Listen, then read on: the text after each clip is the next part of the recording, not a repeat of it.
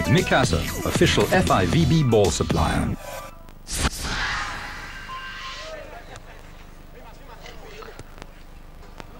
Уважаемые поклонники пляжного волейбола, мы в Ишпиню, это в Португалии, 18 километров южнее города Порту, крупного промышленного центра. Ну а в Ишпиню проводятся обычно соревнования по пляжному волейболу и по гольфу. Международное крупное соревнование. Очередной турнир из серии мирового тура. Иногда называют мировая серия, иногда мировой тур, World Tour. Э, по пляжному Beach Volleyball Tour проходит. И мужчины сегодня уже выясняют свои отношения в рамках четвертьфиналов. Ну, тут еще есть утешительные так называемые четвертьфинальные матчи. И, наверное, все-таки достаточно неожиданно, что э, в четвертьфинал э, попал дуэт из Америки. Э, Джейк Гиб и Стейн Мецгер. Но Мецгер очень известный игрок. Это понятно. Сейчас у нас справа их соперники расположились. Марсио Раужу и Дежезус Магаляйс. Между прочим, это чемпионы мира. А вот что касается американцев, тут Вообще ничего нельзя сказать о Джейке Гибе. Вообще ничего.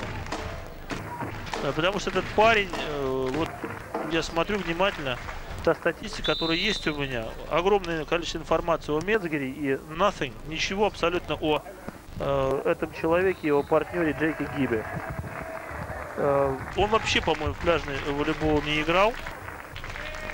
Так что вот давайте наблюдать за тем, как выступает. Это вновь созданный э, дуэт. Напомню, что американки и американцы по большому счету игнорировали э, соревнования мирового тура, за исключением одного. В Берлине, кстати, выступал вот этот американский дуэт, 13 на небольшом чемпионате мира.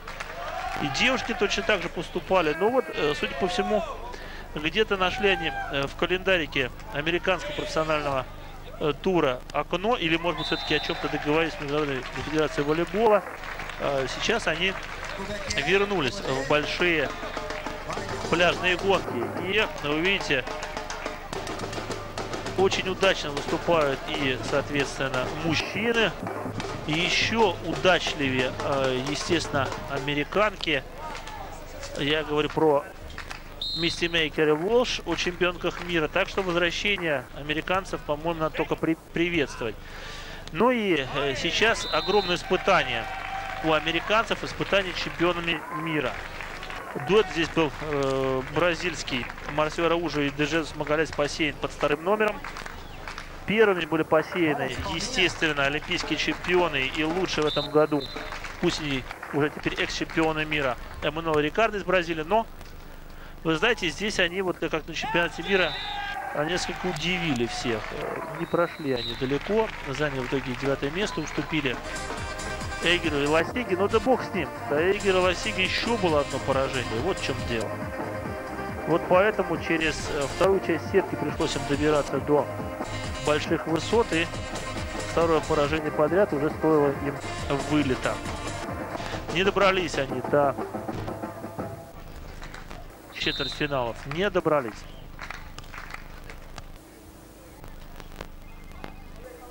Ну, что касается американцев, очень хорошо они шли. Сейчас они у нас справа. На всякий случай еще раз говорю, что у них синяя форма.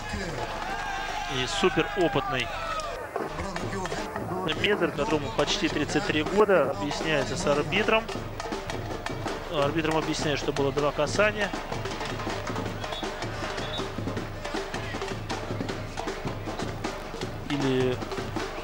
Может быть что-то другое выяснять. Трудно сказать. Но парень имеет все. Вот про Джейка э, Гиба у нас вообще, к сожалению, никакой информации нет. Если бы мы успели к началу репортажа, наверное, бы показали титрами, кто есть кто. Но чуть-чуть затянулся матч. Гран-при между сборными Японии и Бразилии. И мы уже э, включились в репортаж, когда первые очки были разыграны. Чуть больше народу сегодня на трибунах.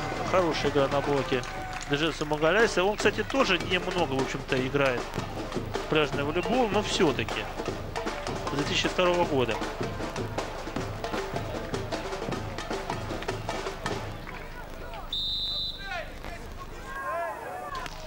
Нара уже на подаче, очень хорошая подача. Поднимает мяч отлично Араужу. И в итоге, вы видите, не зря трудились сейчас бразильцы. Не зря. Так вот, как американцы шли э, к своему четвертьфиналу. Э, в первом туре они играли с российскими волейболистами Барсуком и Аркаев 2-0. Легко они их обыграли.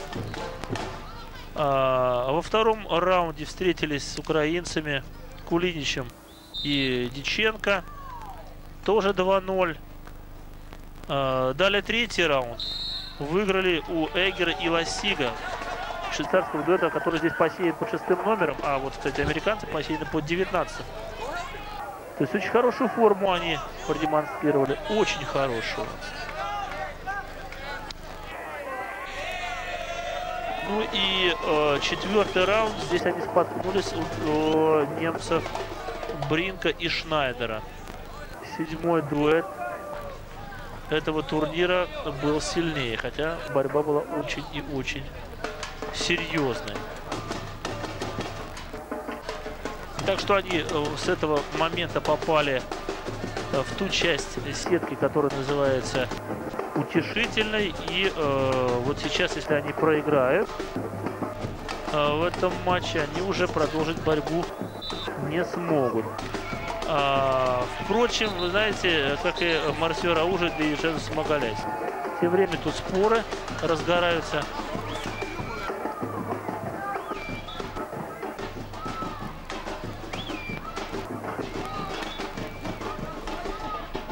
Но видите, все-таки предлагает главный арбитр. А почему карточки не предъявляют сейчас э, арбитр? Порядок, желтую показать. Ну пусть это э, чемпионы мира, но так нельзя, конечно, действовать. Просит да, Мугаля сейчас очки немножко тут почистить. Вот, пожалуйста, желтая карточка. Наконец-то. Наконец-то. Давно пора было. Давно пора было это сделано. В общем, я думаю, для чемпионов мира, конечно, э, вот это поведение, оно некорректное по отношению, тем более к даме. Выясняли тут отношения они. Ну, вы видели, конечно, э, касание сетки было совершенно очевидно. Причем рефери э, предлагает американцам не вступать в пререкание с бразильцами. Он принял свое решение и э, в итоге все закончил желтой карточкой. Да, борьба сегодня обещает быть нешуточной не только на площадке, но и за пределами. Адемагаляев сейчас проводит шикарную атаку. Рычаг какой у этого парня, да? Рост у него 2.04. Ну, что тут говорить. Вес чуть более 100 килограммов. Но вы знаете, он когда э, в этот тур-то вступил, э, он весил вообще 104 килограмма. Он э, похудел. Э, не, действительно, немало сил было уже потрачено. Так что... Ну, чемпионы мира есть чемпионы мира. Но американцы тоже просто молодцы. А кто еще у нас? Класс. Просто класс. Падение. Магаляй сейчас делает, ну, все просто настолько идеально. Посмотрите. Класс, просто класс. А, ну так вот, э, здесь э, Мгаляйс и, соответственно, Раужа тоже э, один из матчей э, проиграли. Э, так что здесь не так все просто складывалось для э, чемпионов мира. Сейчас мы найдем, где они тут споткнулись и э, главным образом об кого. Первый матч португальцы Силва Рейш и Брида 2-0 выиграли. Бразильцы дальше, второй раунд. Вот где они споткнулись. А канадцев Хис и Ван Хейзен. 1-2 они проиграли. Ох, какая борьба была. Решающий сет 19-17 выиграли канадцы. Не просто, не просто бразильцам. Не просто бразильцам, не только этим. Здесь три дуэта бразильских посеяны были под первым, вторым и третьим номерами, соответственно. Но мы уже сказали о том, что нет олимпийских чемпионов. Им сказали до свидания. Бенджамин и Харли тоже уже завершили свои выступления. Здесь остались они 13-ми. Ну и в итоге, кто претендует на попадание э, в полуфинал? Ну вот, в данном случае мы э, с вами ведем речь о, о матче Марсел Раужа, Дезет Магалясь и Гиб Мезгер. Это последний матч для определения полуфиналиста. Так что другие-то уже три полуфиналиста определились.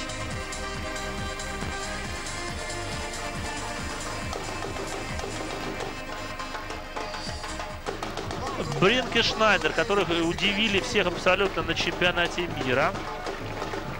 Тикман и Рекерман, но это очень опытный дуэт из Германии, но очень нестабильно он играет в этом сезоне. Ну и, наконец, еще один э, примечательный дуэт из США Роджерс и Скотт. Вы знаете, вот сейчас победят американцы, и без Бразилии будет финал четырех. Но это что-то невероятное. В действительности представить в этом сезоне подобную ситуацию было практически нереально. И я, честно говоря, отказываюсь в это поверить и сейчас. Особенно учитывая, что здесь последние два года побеждали бразильцы Мануэла Рикардо.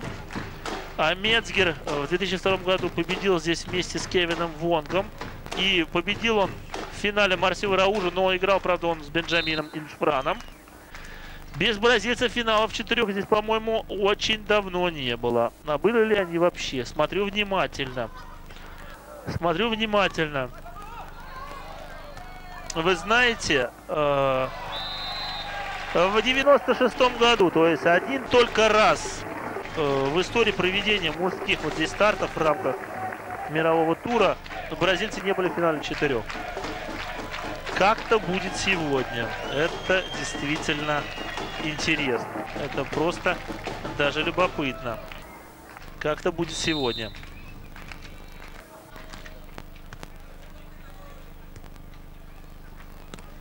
Упорнейшая борьба. Упорнейшая борьба. Да, можно предположить, конечно, что очень серьезное соревнование под названием Американский Про-тур профессиональный. Иначе бы вот эти ребята не приехали в такой прекрасной форме, согласитесь. Иначе бы они не приехали. А, видно, что подготовлены они на все 100. Но перед ними чемпионы мира. Вызывание обязывает.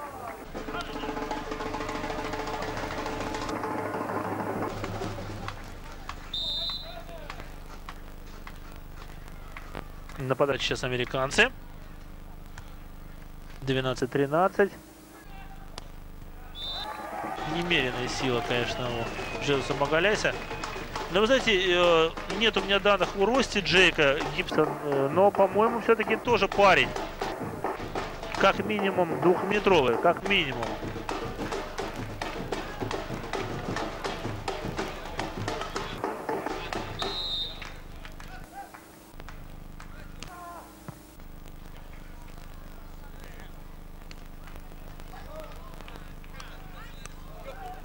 Видели, скорость э, подач не очень высокая.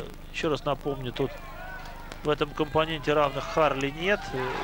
Даже он как-то умудрился в Норвегии подать мяч со скоростью 100 км в час. Фантастика. В час, фантастика.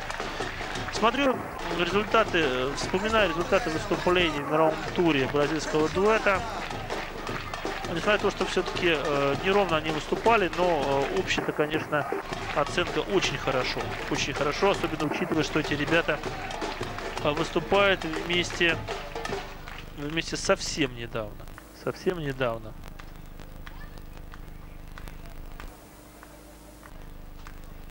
Еще в прошлом сезоне Ару уже выступал с Бенджамином, даже забивался успехов, в том же Берлине, например. Главная победа, конечно, Марсио Раужа и Фаби Магалета приходится на чемпионат мира, но они также еще побеждали в Загребе. Так что есть у них успехи. Они также здорово э, выступили, на мой взгляд, в Санкт-Петербурге. Классный матч они выдали против Эммануэля Рикардо. С огромным трудом олимпийские чемпионы выиграли у них в финале. Вот это наивысшее достижение этой двойки. Ну и сейчас есть у них шанс попасть в финал четырех. Хотел бы, конечно, бразильцев увидеть. Немцы, надо сказать, что э, в принципе неплохо выступают в рамках мирового тура, но стабильности в выступлениях тех или иных волейболистов не видеть, как у швейцарцев. Например, Маркус Дикман и Йонас Рекерман стали вторыми в Загребе. Э, что касается швейцарцев США, Хиер и Поль Ласига, они стали вторыми в Берлине чемпионате мира. Вот э, совсем как-то неудачно Дикман и Регман выступают. Четвертое место в Норвегии, в Ставангере. Ну и, в общем-то, им особо больше э, похвастать э, нечем, разве что еще второе место э, в Хорватии. Дикман и Регман заняли. Так что э, в данной ситуации все-таки то, что немцы вот так уверенно вышли э, двумя парами э, в полуфинал, это положительный момент, очень положительный. Но еще раз скажу, что дистанция очень длинная э, мирового тура в этом году. 16 турниров, и они достаточно, вы знаете, э, проходят плотно. График такой очень непростой. Очень непростой. Никаких турниров в марте не было, в апреле. Все достаточно акцентировано в мае. Начались соревнования. И практически нет передышки. Практически нет ни мужчин, ни у женщин.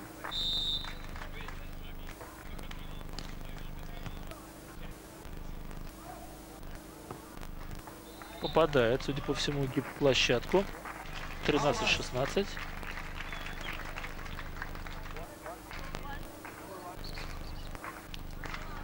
Хотел бы, конечно, раздобыть какую-то информацию по поводу этого волейболиста. Но нет, пока ничего нет.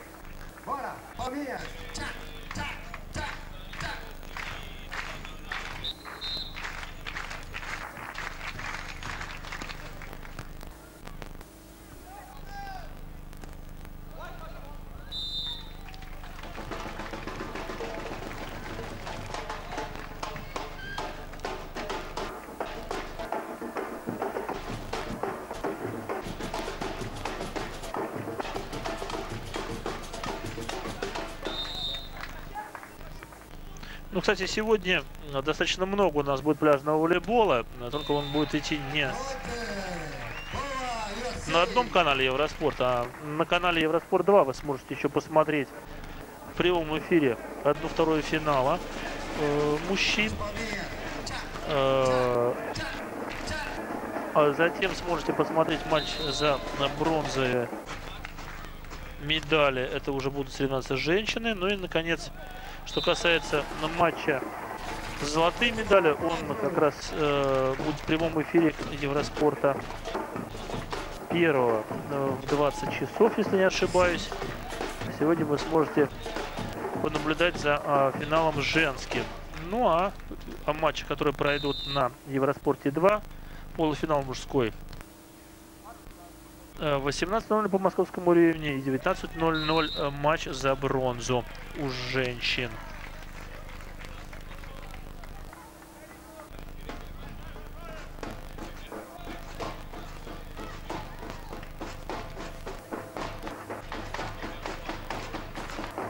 Ну, вы знаете, бразильцы постоянно упрягают Менсгера э, в том, что он использует два оказания, когда делает передачи партнера, но пока скажем так, не очень арбитр обращает на это внимание. Пока.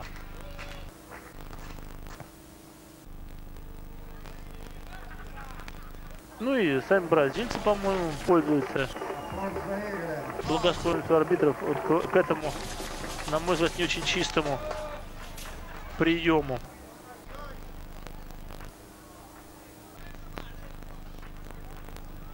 Не думаю, что смогут сейчас выбраться из этой ситуации американцы. 19-15. Два очка осталось до победы. И вот смотрите, как здорово играет бразильцы. Отгадал сейчас Демогалейс. Направление атаки 20-15. Первый сетбол.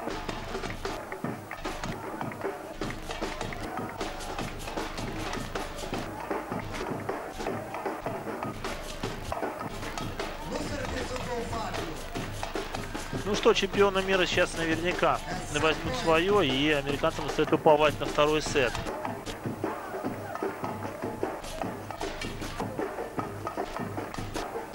Да, не спешат э, чемпионы мира, постоянно протирают очки. Жест Магаляйс. В общем, арбитр спокойно это все взирает сверху, свои вышки.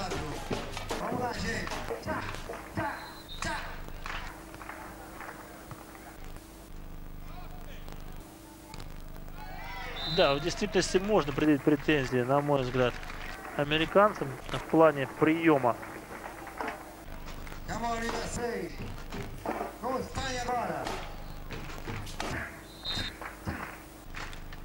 Еще один шанс закончить встречу, теперь уже с подачи соперника и реализует его Магаляйс. 21-16. Чемпионы мира обыгрывают в первом сете Гиба и Мецгера из США. Впереди нас ждет второй сет.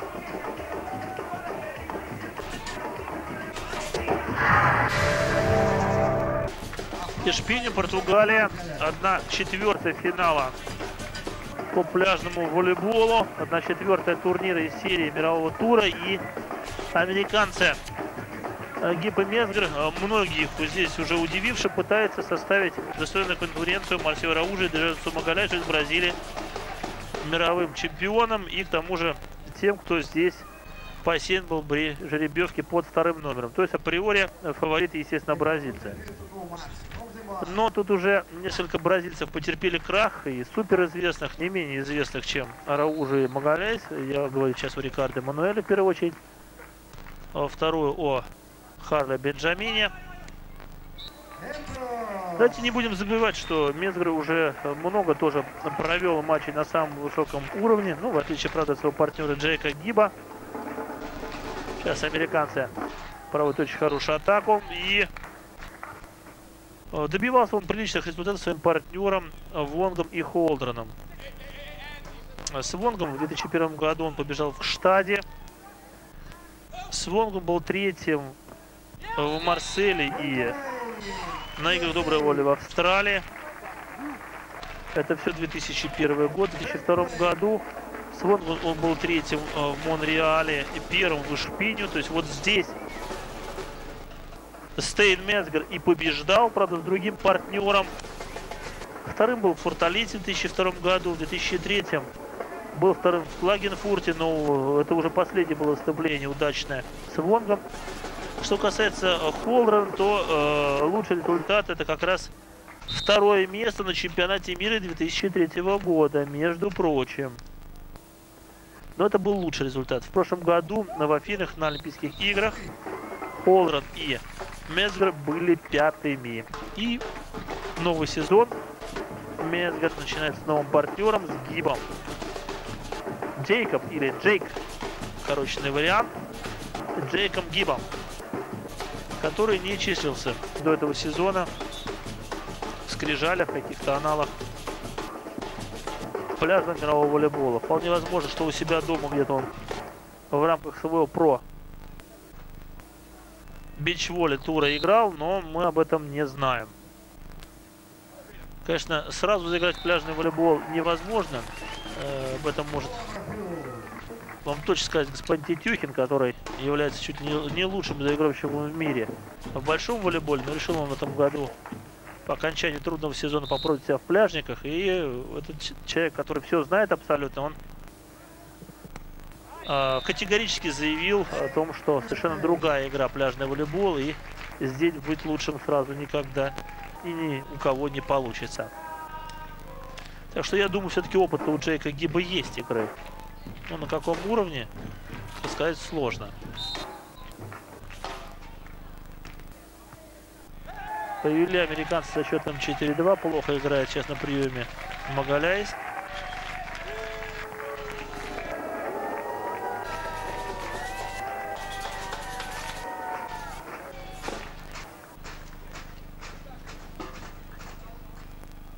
Просит поменять мяч.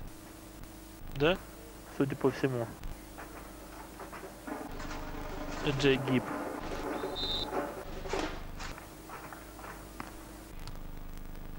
Опять подает, между прочим, он на Магаляйса, но на сей раз Магаляйс справился.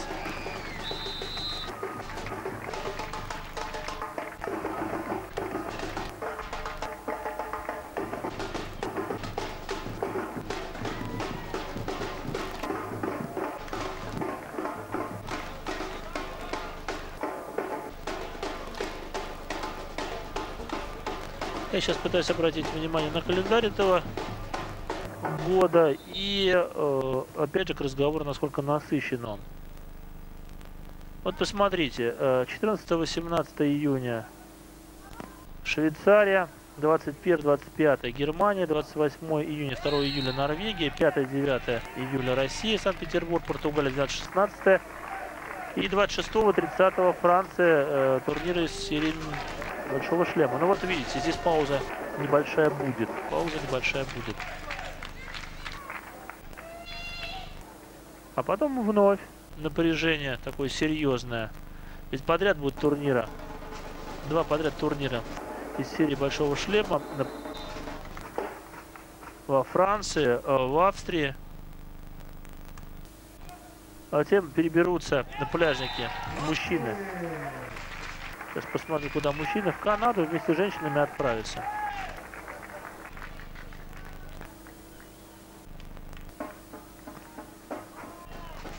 Ну, здесь, здесь должен только поправочку сделать. Э, после Португалии мужчина отправляется все-таки в Польшу. У них-то как раз паузы не будет. Пауза небольшая будет у женщин. А все дело в том, что женщины на один турнир к этому моменту провели больше. А вот мужчины-то как раз без паузы последуют в город Старой Яблонки. И так что у них э, все очень и очень даже круто. Вы знаете, если внимательно посмотреть здесь, пытаюсь тут паузы найти. Э, с 8 июня никакой паузы нет. И поэтому, возможно, некоторые каждую неделю, в общем, э, бьются пляжники. И, наверное, возможно, поэтому э, некоторые немецкие дуэты и швейцарские не поехали в Санкт-Петербург. Взяли выходные. Здесь все немцы присутствуют и, как я уже говорил, выступили они здесь уже, можно принять, удачно, потому что два дуэта находятся в полуфинале. Брин Шнайдер и Рекерман и Дикман.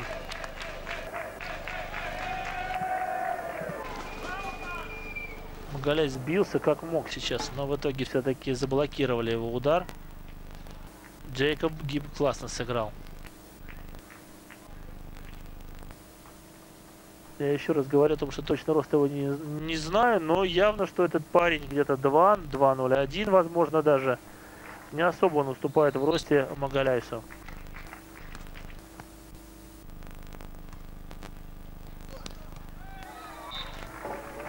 Хорошо, уверенно сейчас атакует Араужу.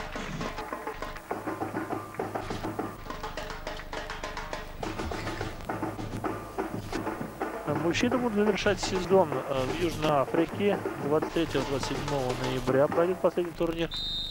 Ну и э, женщин там же будут завершать, но у них недели раньше пройдет турнир, да, по-моему, так.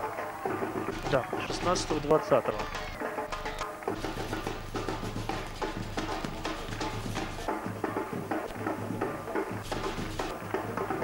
Рауза на подаче. Очень приятно, что все-таки не Эммануэль Рикардо побеждает всех подряд, а есть и другие дуэты, в том числе и не бразильские, не немецкие, американские, которые, на мой взгляд, только зрительский интерес подогревают. Не всякого сомнения, если бы ситуация была иной, только бразильцы, вот как в Санкт-Петербурге, 4 дуэта, были в финале четырех и только бразильцы. Конечно, финал был выдающимся. Араужи, Магаляйс и Рикардо Брунел не спорят. Но все-таки жаль, что не было интернационального, скажем так, финала четырех. Вот тех же американцев мы с удовольствием посмотрели с вами, согласитесь. Тех же немцев, которые не поехали в Санкт-Петербург, они бы там тоже могли пригодиться очень сильно.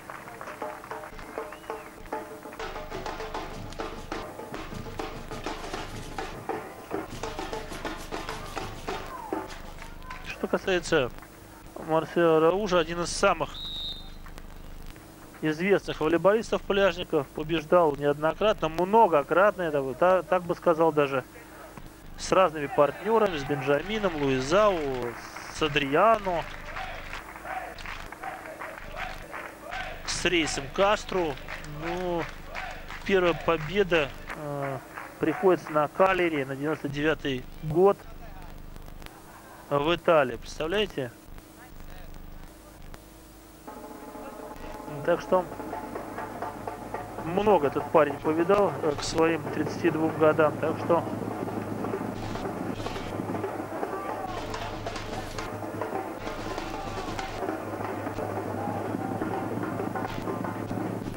Ну опять тут какие-то проблемы, выяснение отношений.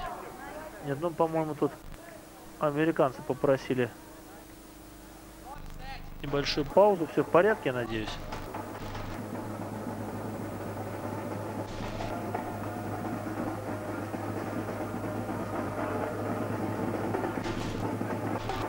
Да, счет, по-моему, не совсем правильно стоит. 9-7 должен быть он, мне кажется, так. Давайте посмотрим. Да, действительно, еще 9-7.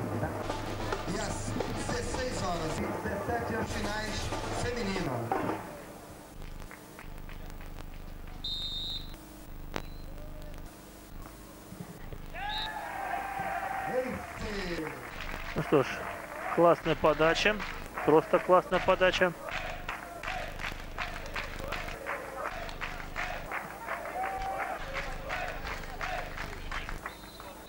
Между прочим, Арсений Раужи и Фаби Магаляйс в этом году заработали уже 150 тысяч на двоих.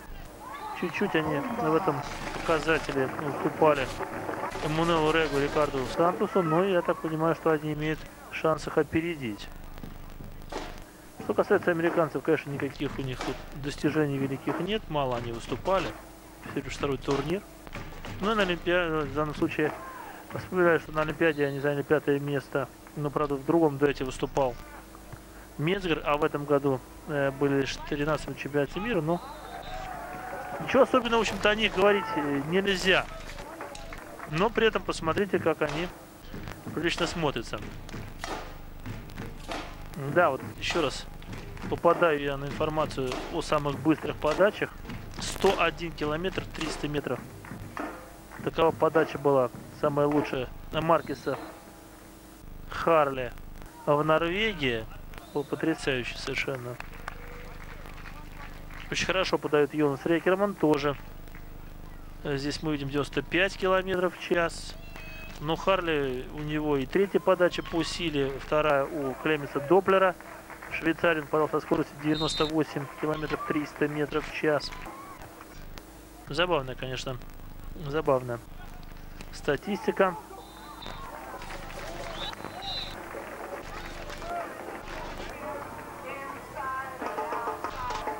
Ну что ж, матч продолжается.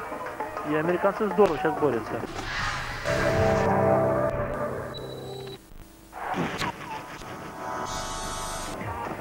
Между прочим, если говорить о э, самых титулованных спортсменах, которые попали сюда в решающую часть соревнований, то как раз самым титулованным является Марсио Раузо. Десять раз он побежал в рамках мирового тура.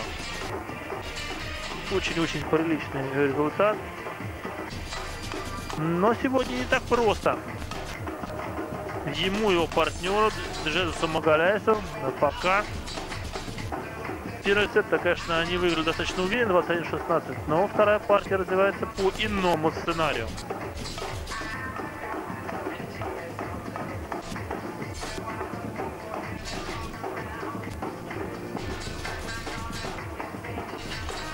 Хорошая игра на блоке. Вы видите, как сейчас Магаляйс здорово блокирует Джейк.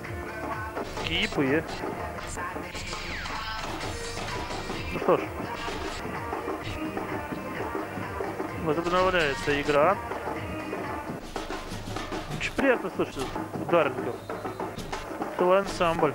Но народу маловато, вот это обидно. Больше, конечно, чем накануне, но все-таки хотелось бы, чтобы публики было побольше. Небольшое преимущество во втором сете у американцев, совсем небольшое. Здесь преувеличивать, в общем-то, пока значение набранных очков не стоит.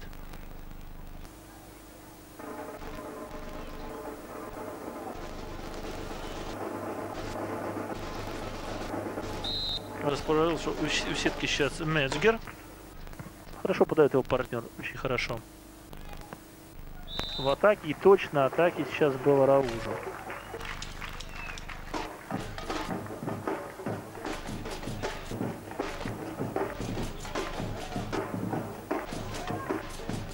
Да, бил, конечно, он по месту и в данном случае показал высокий класс, вне всякого сомнения. Точность э, не изменила ему. Подают, кстати, ребята очень хорошо. И те, и другие. Нет, сейчас э, в данной ситуации не ошибся Джейк. Все сделал чистенько.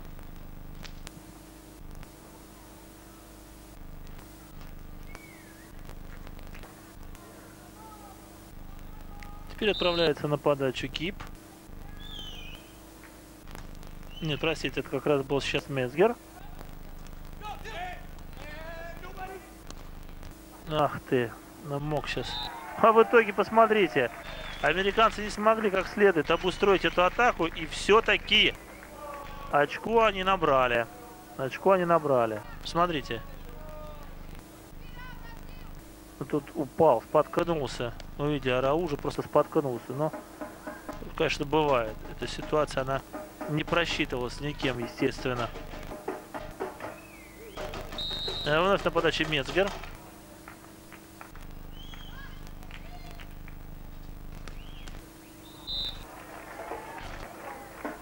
Попадает в сетку. Нет, ну понятно, если пытается сильно атаковать прямо с подачи, а это умеет делать Месгер, то шансы есть и заставить ошибиться соперников на приеме, есть шанс просто самому попасть в аут. Такое ощущение, что бразильцы всегда чуть-чуть затягивают течение этой встречи. То очки протирают, то о чем-то там договариваются.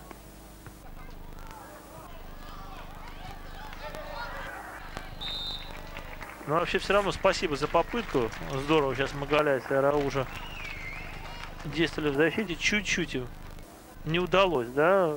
В общем, конечно,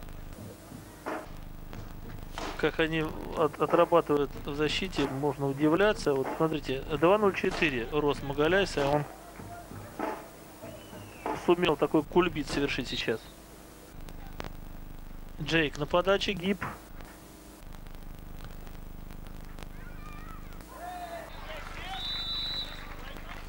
не знаю, что не понравилось сейчас Магаляйсу, но, по-моему, он думал-думал и в итоге ничего хорошего не придумал. Посмотрите. Попадает просто в сетку. Ну, наверное, пытался все-таки обмануть сейчас Джейка Гиба. в итоге достаточно простая была ситуация, на мой взгляд.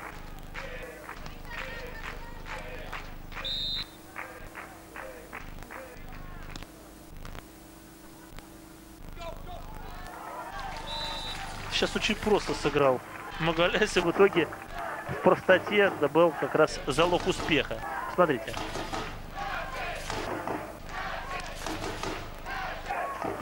Ну, такие, конечно, редко бывают эпизоды, когда так просто все удается. Нет, здесь не все в действительности просто.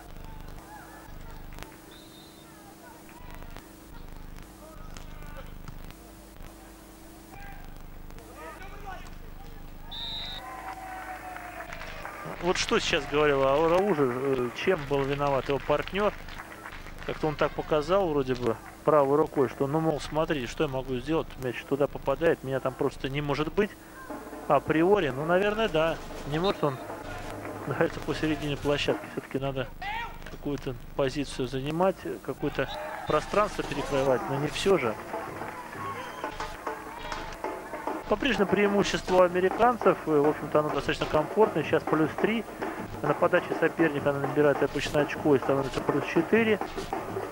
Но посмотрим. Так вроде как внешне все выглядит, что не избежать третьего решающего сета.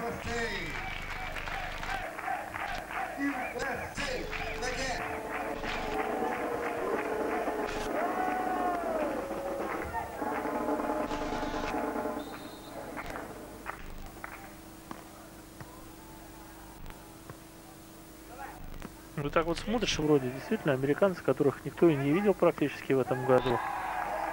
А посмотрите, как играют. Смотрите, как играют.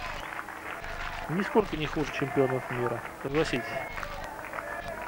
Ну да ладно, мы посмотрим все-таки, что будет в решающем сете. Я думаю, что его уже не избежать.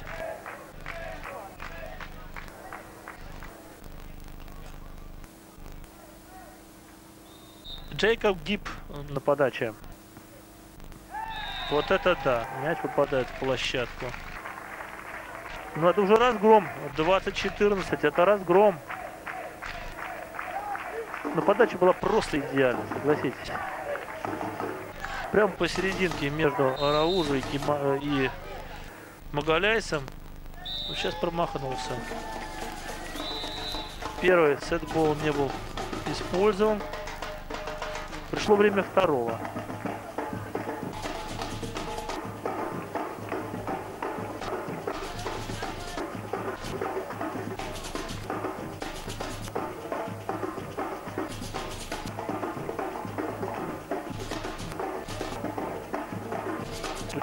Долго готовятся подать сейчас бразильцы.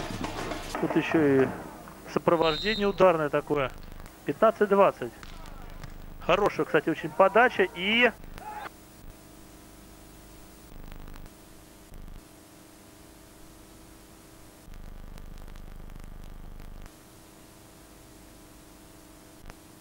Да, 21-15 американцы выиграют. Одной рукой закрыл сейчас. Фантастика. Мезгер сумел мощного этого парня закрыть на блоке одной рукой. Совершенно замечательно все сделал сейчас опытный Мезгер.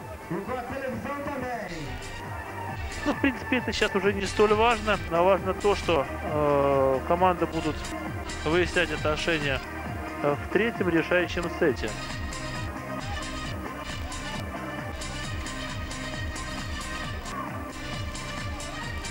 На всякий случай напомню, что касается у нас э, женской части соревнования. Тут тоже, я думаю, э, можно вспомнить и напомнить тем, кто уже смотрел вчерашние наши трансляции.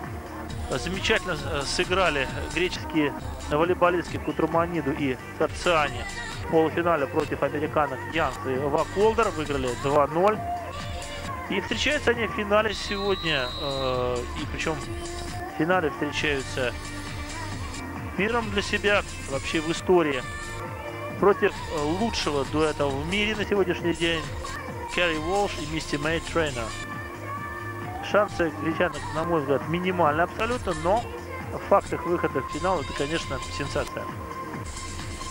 Уолш/Мэй, э, в свою очередь, Уолш/Мэй в полуфинале выиграли в трех сетах у бразильского дуэта Франции Филишберта Силвы, у вице-чемпионок мира, финалистки как раз чемпионата мира Волш Мэй Тренер и э, Франции Силва.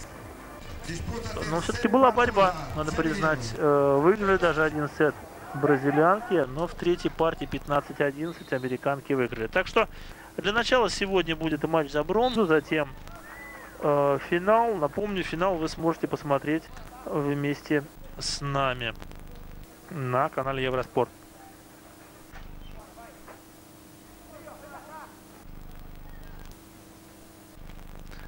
Итак, третий сет. Напоминаю, это последний э, четвертьфинал ну что ж, наконец-то а, наказали американцы арбитры.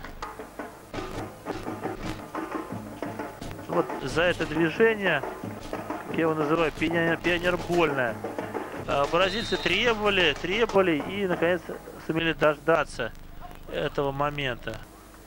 Да, начало, конечно, решающее с этой явно за бразильцами. 3-0. 3-0. Очень тяжело будет сейчас уже, очень тяжело.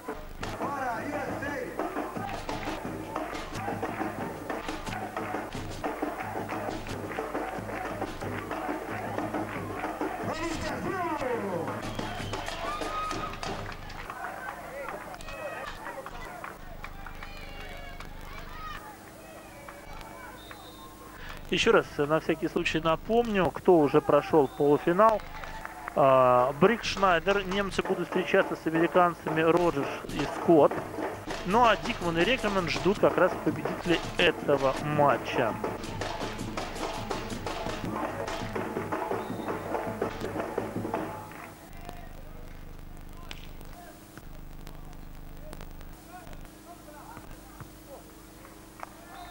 Четыре один. Команда меняется сторонами площадки.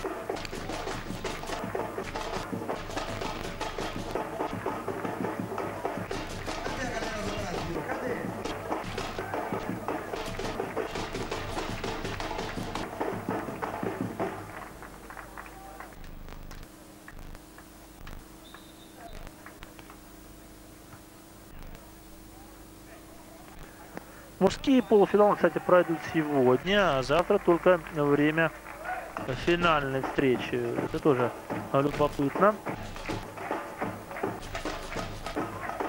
Ну а женщины сегодня завершают свои соревнования.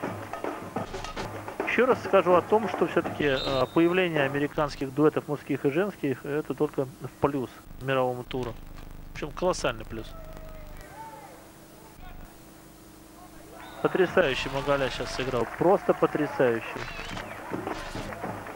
Были у него колоссальные проблемы, но он из этих проблем с достоинством сейчас выбрался. Посмотрите.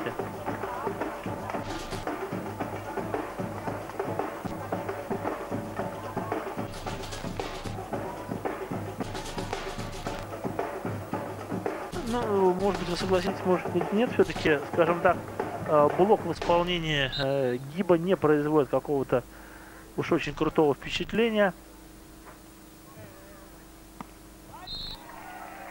Все-таки руки работают на блоке намного лучше, мне так кажется, у Магаляйса. И дело не только что... Дело не только в том, что надо выпрыгнуть высоко и прям поставить руки.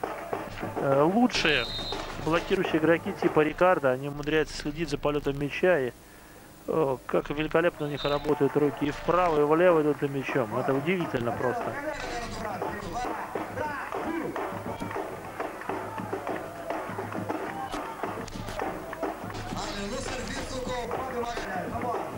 Да. Опять критическая ситуация была у бразильцев, и тем не менее не смог Джейк воспользоваться просто шикарной возможностью сократить отставание в счете до минимума практически. 4-6. Американцы идут на подачу, но теперь уже на другой половине площадки. Ну, вы знаете, что на тайбреке через каждые 5 розыгрышей мяча отправляются очка, отправляются команды на другую половину площадки.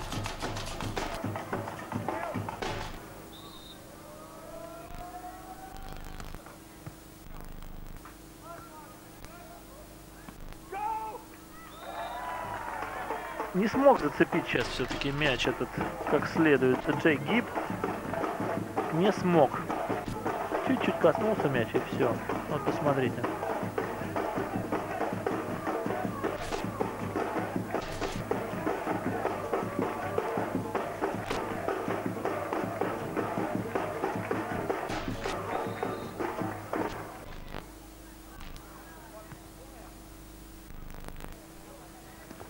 Мне так показалось, что сейчас э, все-таки Раужа подавал, знаете, уже обеспокоившись тем, что э, силовая подача может все-таки принести очко сопернику. Он все-таки сегодня мощнее подавал. Но вот решающий сет наступает и, естественно, момент усталости. Ну и страх, наверное, какой-то есть все-таки. Хоть это чемпионы мира, но ставки высокие. 5-7. По-моему, мяч все-таки попадает, да? Или нет, попадает в площадку. Вот так внешне показал, что не попадает. Что внешне показал. Но камера не успела, кстати, за мячом. Вот сейчас, может, мы поймем. Площадки мяч, еще и как. Просто не было вида ни бокового арбитра, ни главного арбитра. ну или как принято говорить, волейболе первого, второго арбитра.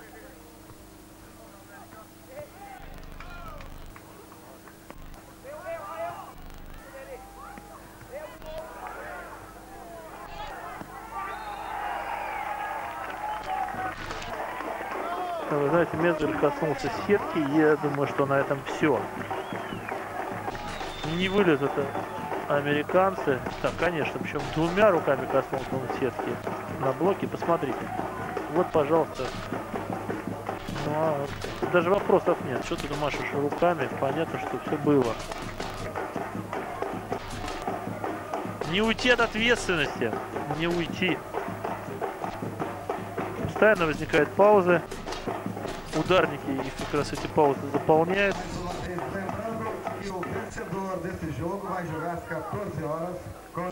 Ну что, придется американцам бороться за... Да ничего не придется им сейчас, они выбывают. Ведь э, тот, кто проигрывает сейчас в этой встрече, смотрим внимательно, тот занимает пятую строчку в итоговом протоколе.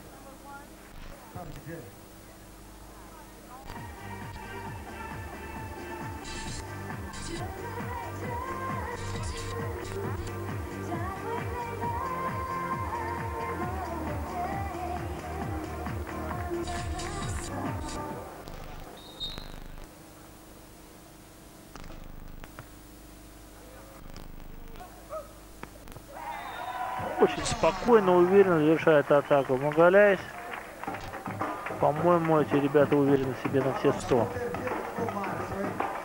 Нет, блок не помощник в данном случае. Вот этот блок, конечно, я бы сказал, что даже бессмысленный отчасти. Но, вы знаете, ловить мяч на задней линии тоже не дело.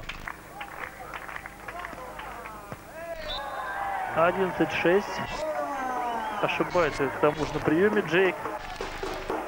Ну вот, может быть, э, отсутствие необходимого опыта, а может быть даже мастерства все-таки в самый сложный момент. Вот сейчас берут, естественно, американцы берут тайм-аут. Ситуация не просто критическая, а аховая. 11-6 на подаче бразильцев. Ну, я думаю, все-таки португальцы в большинстве своем переживают за бразильцев. Их, правда, тут немного португальцев, но все-таки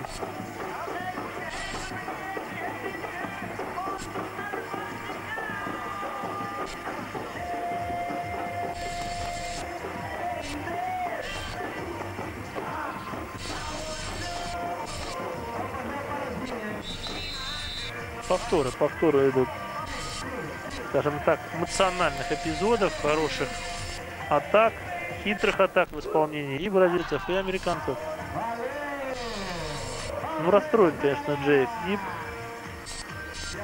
А это уже нам показывает, как разочарован Стейн Мецгер.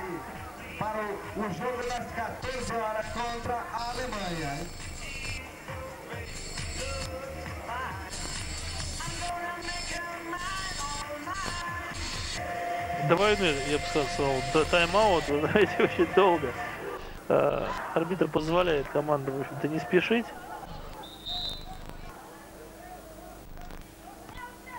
Класс, просто класс. Вот это подача.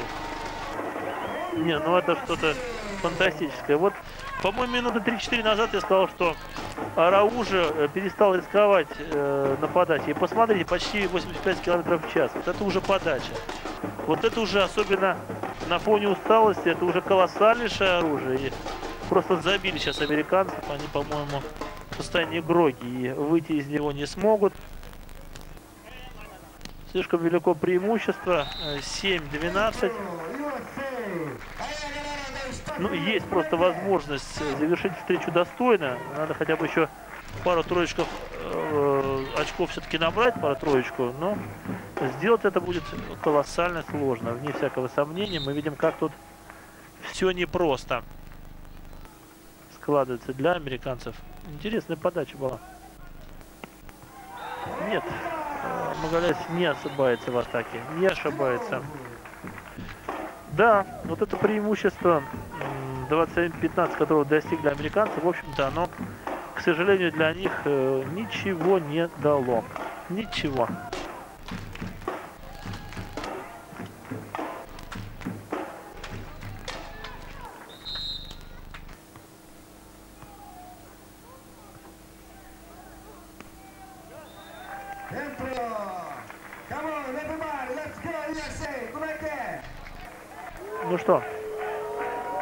Наступает э, время решающих э, в данном случае розыгрышей.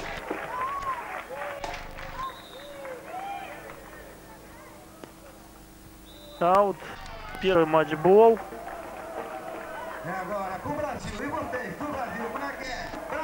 Не, ну в данном случае риск был оправдан. Если просто подавать и не рисковать, шансов вообще никаких нет. Тут вроде бы какая-то была перспектива такая исключительно, по-моему, внешняя. Вот смотрите, 14-8. Вот это была подача. Ну, а вот бразильцы точно могли рисковать э, совершенно спокойно, имея столько матчболов. Итак, э, Дикман и Рекерман должны вот вот-вот дождаться своих соперников, узнать их имена, и понятно, что это будут бразильцы, не знаю, как вам, мне кажется, что другого быть уже не может. Если бы это не были, конечно, Магаляйс. Ух ты! Ну, красиво. 10-14, очень красиво. Это можно только приветствовать. Вот опять же, э, это была из тех ситуаций, которые позволяют какой-то шанс поиметь. Ну, надолго ли? Надолго ли?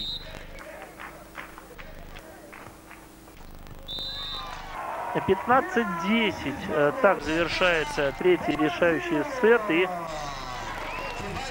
определяется последний полуфиналист.